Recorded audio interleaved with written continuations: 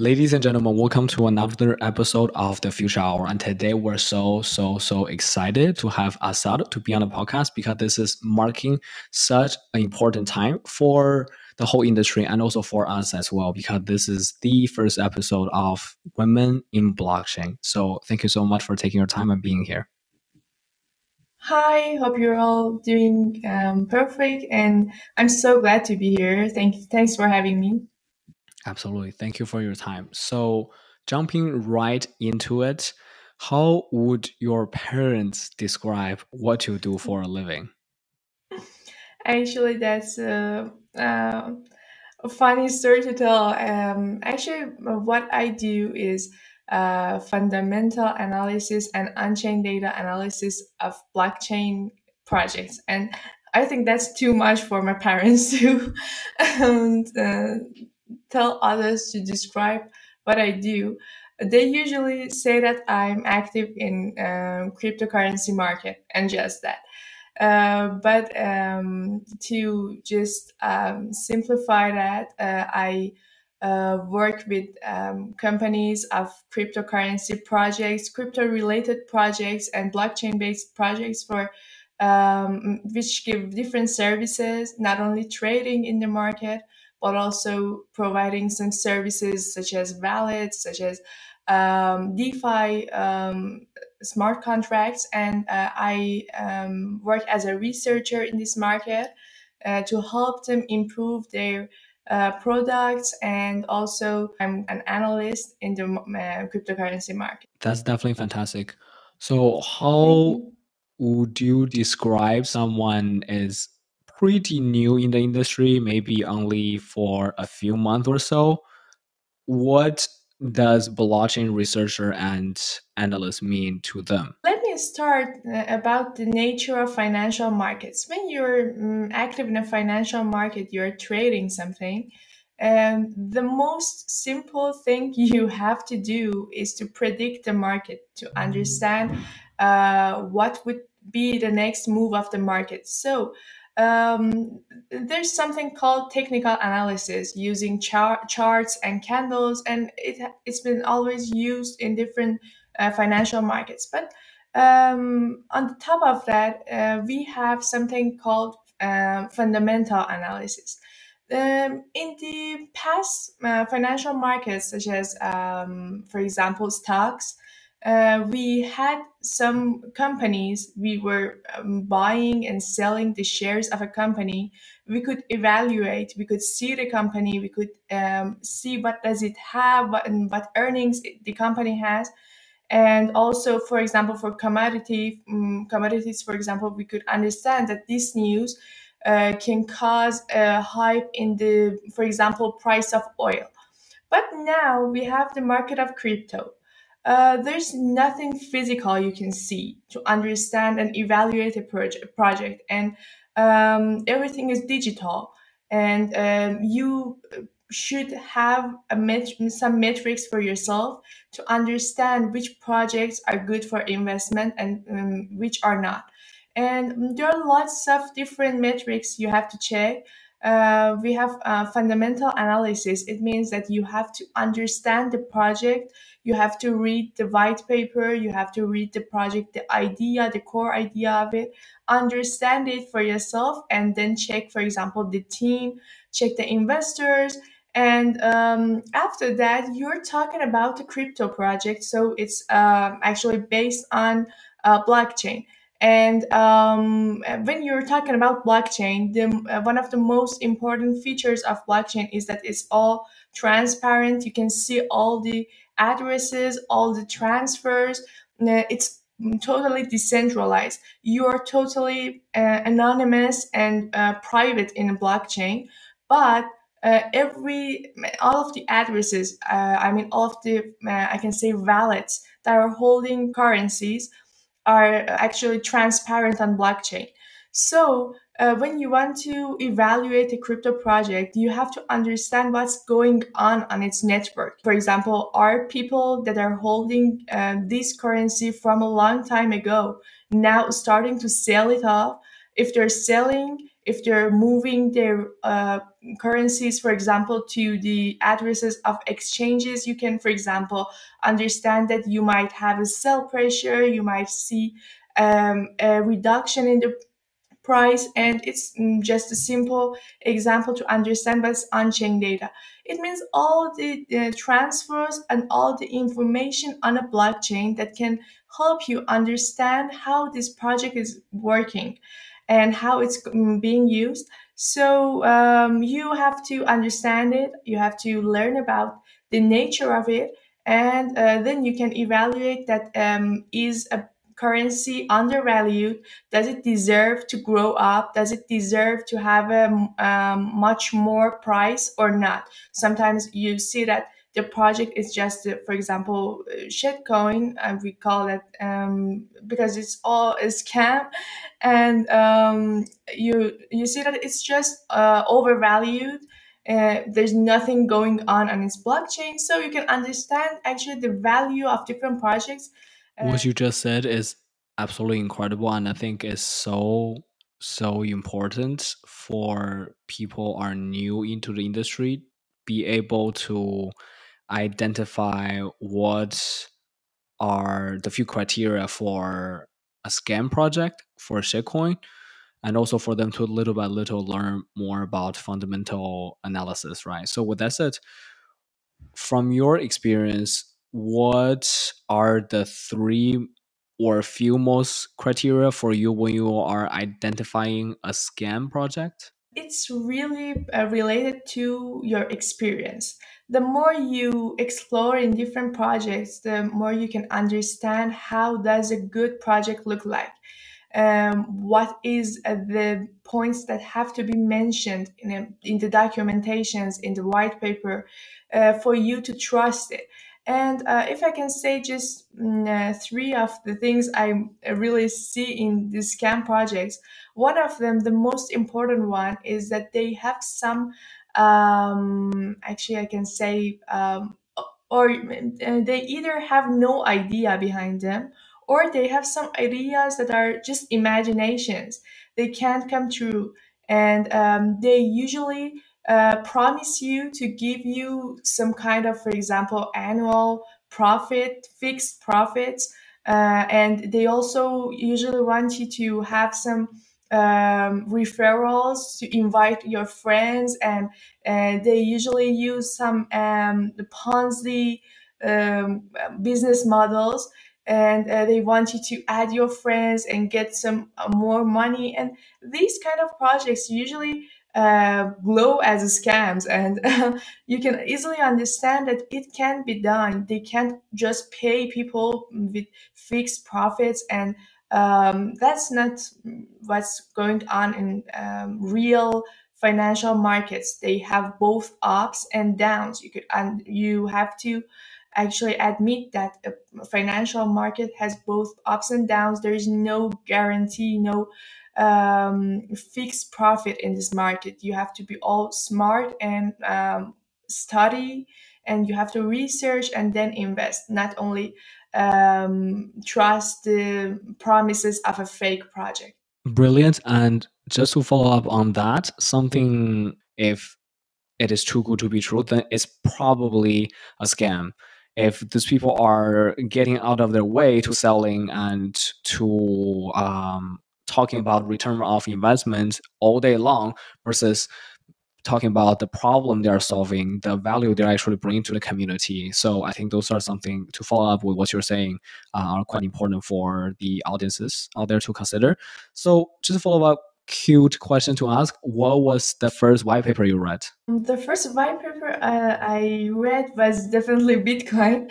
And I really um, just suggest others, recommend everyone who enters this market who wants to get familiar with um, cryptocurrencies and blockchain. I always tell them to read Bitcoin's white paper uh, in the first place. Uh, you might uh, actually not understand all of the technical details if you're entering mm, in this space um, and um, it's kind of it might be kind of hard for you to understand all of the technical details but uh, it gives you a good good insight about the whole idea of uh, this technology. Uh, I don't think uh, that blockchain and crypto is only about financial markets. It's not only about trading. It's a revolution and um, it um, helps to omit centralized powers. It's here to give you more freedom. It helps you to uh, be your own bank and uh, do all of the um, things you always done um, in centralized uh, organizations now freely without any limits and uh, it's um, there is a really strong idea behind bitcoin. So i think that um, the white paper everyone should read before entering this space. Totally agree. I think bitcoin really is where everything all started. So Asal would you tell us the reason why there are more and more Iranians are joining the crypto and blockchain space, and maybe some quick comments when it comes to the culture background over there. Yeah, sure. Uh, actually, the reason why Iranians tend to um, join cryptocurrencies and blockchain space is um, the first reason was mining, uh, I guess, because um, there, uh, first of all, uh, electricity and power is kind of um, has a um, cheaper price in Iran. Actually, it was a really good um, environment for mining. So um, the starting point, I guess, was uh, mining, and lots of people started mining in, and um, having some uh, big mining farms. And after that, um, I think um, for not for only for Iran, um, about all of the countries, economic problems and um, you know the decrease in the value of uh, different fiat currencies uh, make people like to join a, an economical system, a financial system, I mean, that doesn't um, that isn't controlled by some central governments, central controls, and um, is free. Uh, you know, um, the main point of Bitcoin was uh, the freedom for the people. So uh, lots of people tend to uh, use Bitcoin and invest in Bitcoin um, to um, actually avoid from the uh, economic problems and the things that happen for the fiat currency. And after that, um, lots of people actually um, in Iran like to um, um, be parts of financial markets and also uh, IT space uh, is so interesting for people. There are lots of, for example, computer engineers in Iran. Uh, as I've read before, um, the um, interest and studies in such fields is so uh, popular in Iran. So um, I think that would be a reason too. And uh, yeah, I think uh, it's a good investment for people in Iran. Based on also, for example, there are lots of sanctions that don't let people to um, use uh, some international payment systems in Iran, like PayPal or um, Mastercard. These kind of services are uh, not allowed in Iran. But with cryptocurrencies, people um, could easily do some international transfers and transactions. So that would be a really uh, big freedom for Iranians, and uh, I think that would that was really important. And uh, you actually mentioned uh, culture and um, the cultural background. Um, uh, about culture, I think that um, um doing uh, some financial activities is um, something that Iranians love to do. And um, this time that Iran is has lots of sanctions and some of the industries can't perform uh, as well as before.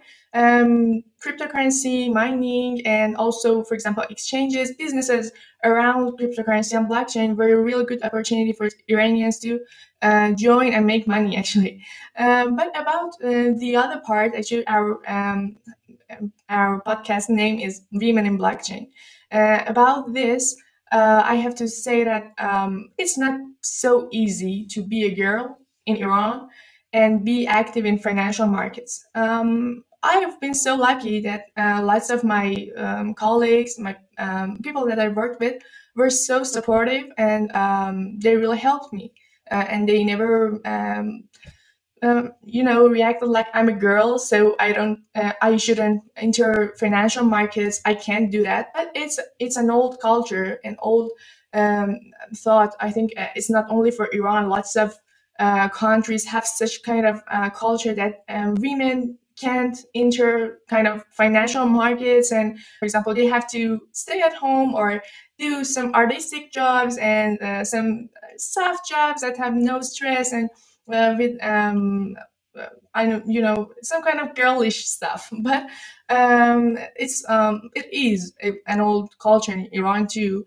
But nowadays, uh, women are really uh, improving and entering this space. I have lots of friends here that are entering uh, blockchain space. So uh, it's kind of it had some kind of difficulties about the culture to be a girl and also uh, be known as a, professional in the financial market, but it's now really better. It's improving, and the culture is um, being much more supportive. Well, with that, would you mind share with us what was something that you had to overcome?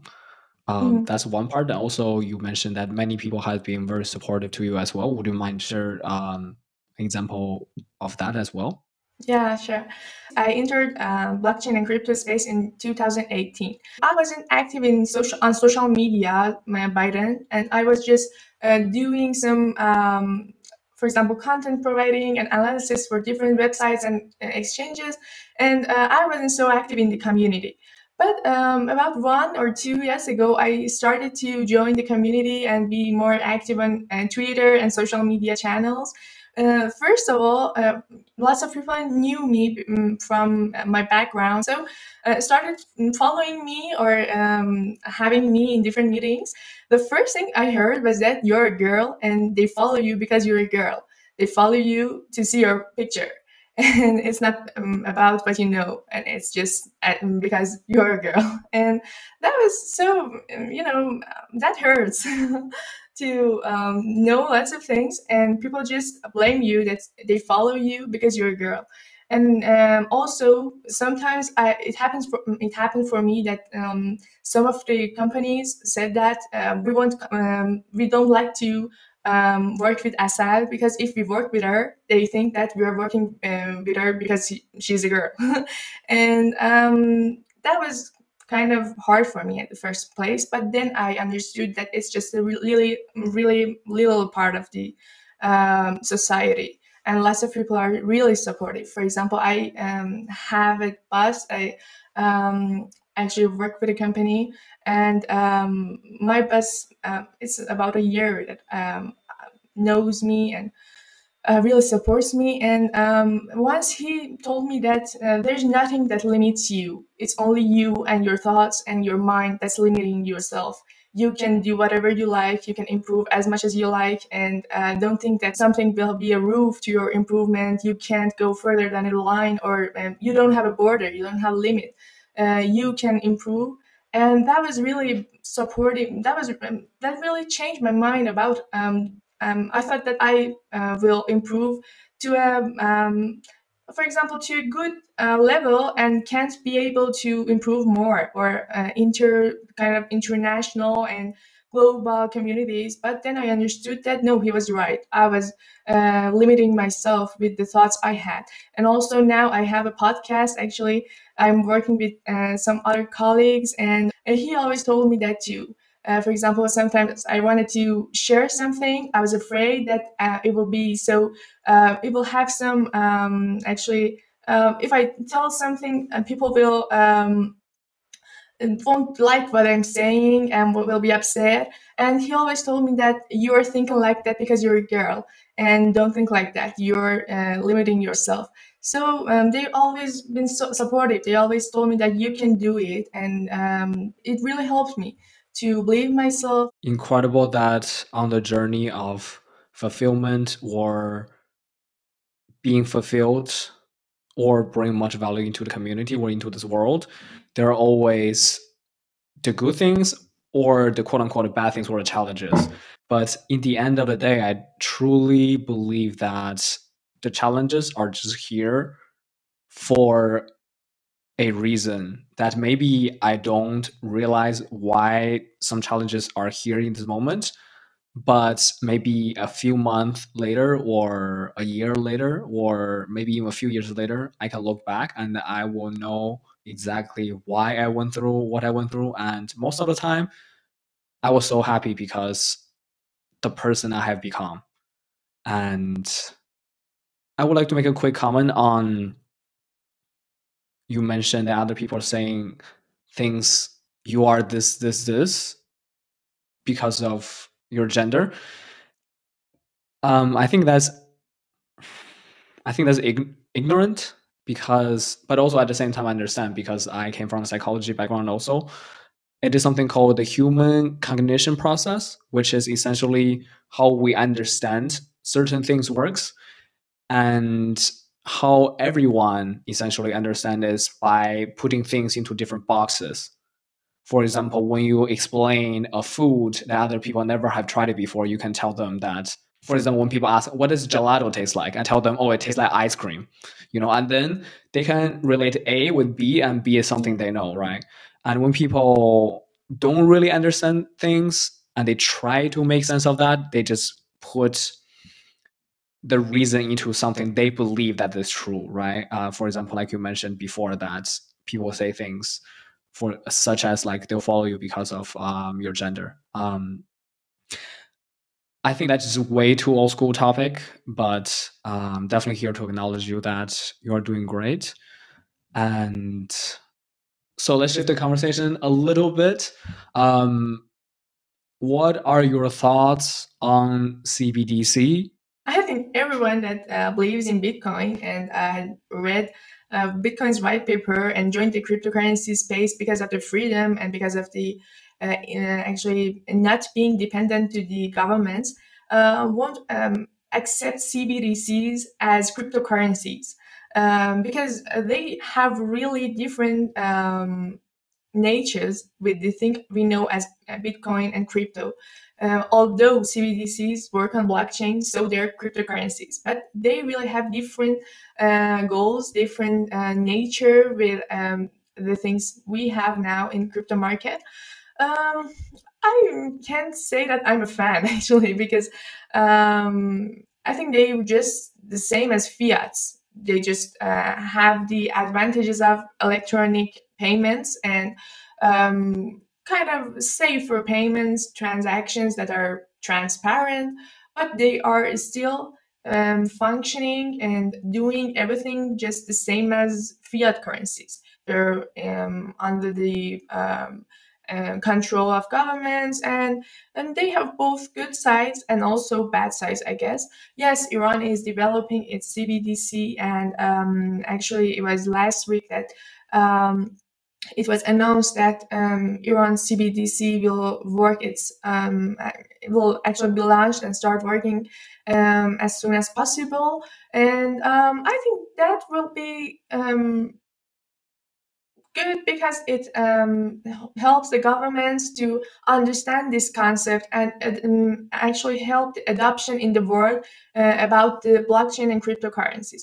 But we can say that it will have a good impact on the uh, market of other cryptocurrencies, Bitcoin, and such things. So um, yeah, I think um, they there are kind of uh, good aspects of this but it's so far from the idea of Bitcoin and the freedom that other cryptocurrencies give people. I agree. And actually, the last episode, we had similar conversation with one of the guests, and we were talking about essentially in this moment, DeFi is really booming, but also at the same time, DeFi is making CeFi better. Yeah. And what might happen in the future that there might be a possibility that CeFi would buy out or collaborating with so much DeFi projects versus this DeFi people just continuously going down their own path and really see it through what might happen, right? But for me, I think when it comes to DeFi, when it comes to CBDC, we really have to see where the future unfolds. Do you have a comment on stablecoin because it's something so popular and very very interesting these days? Yeah, uh, actually, um, I think stable coins made um, crypto market much easier. If we didn't have stable coins, trading would be much more difficult, and um, maintaining the value of, for example, something you want to invest was real hard. Uh, you um, would be really um, worried about the volatility in crypto market when you want to invest.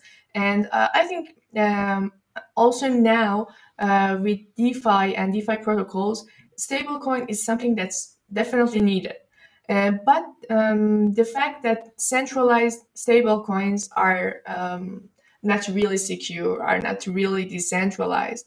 For example, we have um, USDT or these kind of centralized um, stablecoins. Although using them is so so fast and so easy, and I think all of us do that, but uh, they're not. Uh, we can they're not really decentralized. And the fact that for example these kind of systems can freeze the amount of um, uh, money on a specific address so it's just against freedom.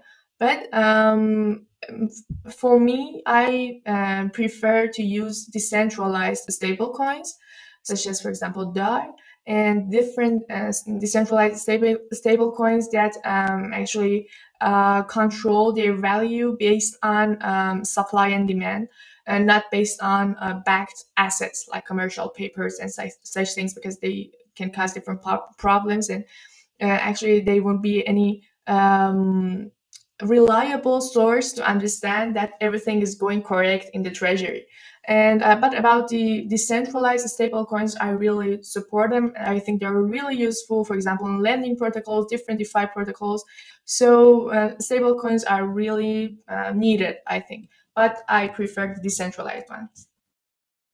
Absolutely. About three days ago, on Wednesday, Bitcoin was all time high, was 66.9 thousand. And today, the day of the recording is about 60.4K. Did you buy the dips? And where do you see the BTC, the truly long term vision is? Maybe, yeah, we don't have to talk about price, but Yeah, actually, it's always uh, hard for me to talk about um, price scenarios and um, predicting the exact numbers.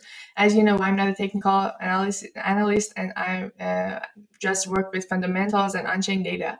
Um, about the all-time high, uh, I bought the dip actually, not here, just on. Um, I added some BTC on 29k, uh, if you remember, uh, a few months ago uh, and um, yeah, that's so interesting when you just see it, it goes up and um, actually um, hits new all-time high. It's always so exciting.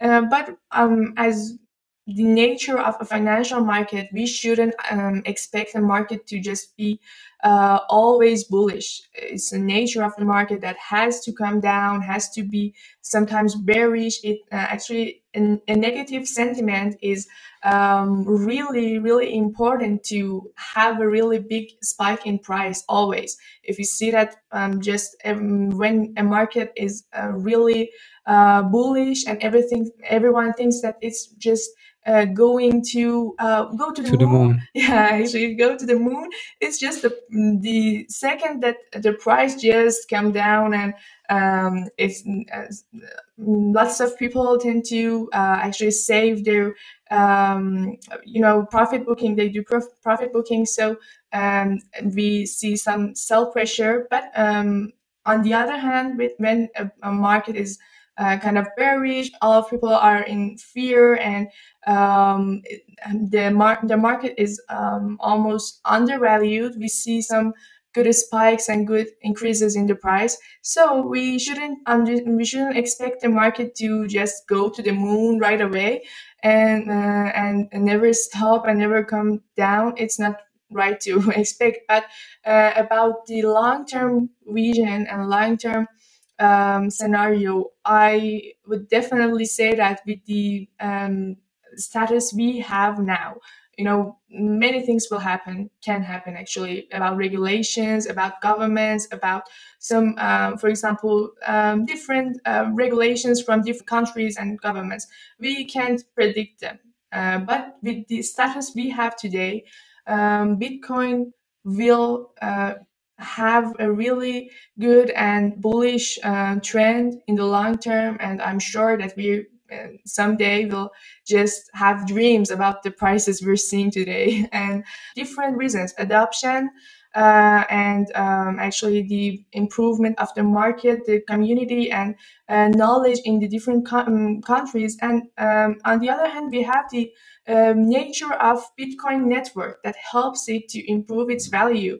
You know, having we have uh, different um, things in the nature of the network that helps it to improve its uh, value. And yeah, I think that it will be a really good market for investments and we'll see much higher prices in next years. I truly believe that this whole industry is meant for reward people who sees the long-term vision versus like you just mentioned speculation even people think that they have gained something but compared to long-term vision it's absolutely nothing.